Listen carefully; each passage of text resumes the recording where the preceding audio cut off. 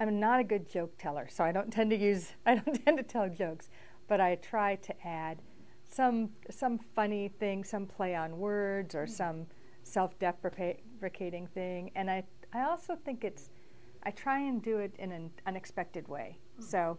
I don't know, for the nurses, for example, I'm talking about the importance of healthcare and the importance of nurses and what they do. And I threw in something along the line like, I'm not a weirdo.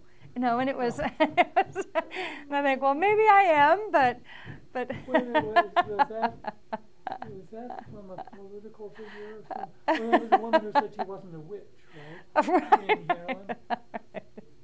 right. So I do, I try, and I think it's, um, or I was introducing um, Elizabeth Shuler, who's the Secretary Treasurer of the AFL-CIO. I was nominating her.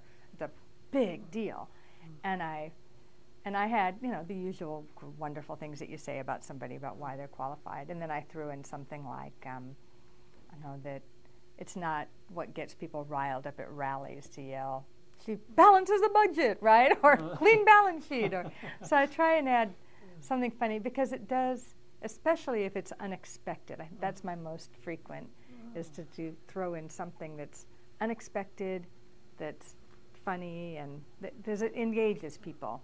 And they li- and people are people like to like the person who's speaking. I mean, they really do. That's mm-hmm. that's just the case. And um, if you're, and if you can throw in something that's funny, especially if you're not as good at storytelling, like I'm not as good at mm-hmm. storytelling, then to be able to throw in something that's kind of funny and unexpected is it brings people together. It engages people, I think, very well.